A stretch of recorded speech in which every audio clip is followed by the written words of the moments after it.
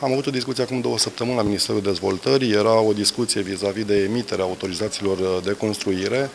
Uh, legea este modificată din decembrie anul trecut și s-a luat hotărârea că autoritatea competentă în emiterea autorizației de construire este Ministerul Energiei. Se fac demersurile pentru a le da uh, un ajutor din partea specialiștilor din Ministerul Dezvoltării și cu siguranță după emiterea autorizației de construire se va trece la etapa următoare în ceea ce privește licitarea tronsonului din România. Să am înțeles că s-au constituit mai multe două sau trei loturi care vor fi licitate.